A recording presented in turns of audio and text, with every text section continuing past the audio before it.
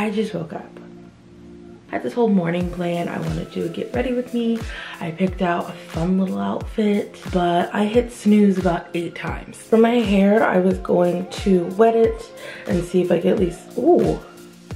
I broke my rat tail comb. Sometimes my hair feels like Mia in Princess Diaries.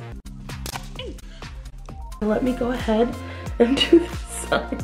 Cute, okay. This is the top that I'm wearing. Is my Novio palette. So I'm thinking maybe this color and then this color. Time. Mm. So the last thing I'm gonna use is this lovely tint lip gloss. This is the final look. Oh my god, this is my favorite part. I love when sleeves cover my hands. It's just such a nice feeling.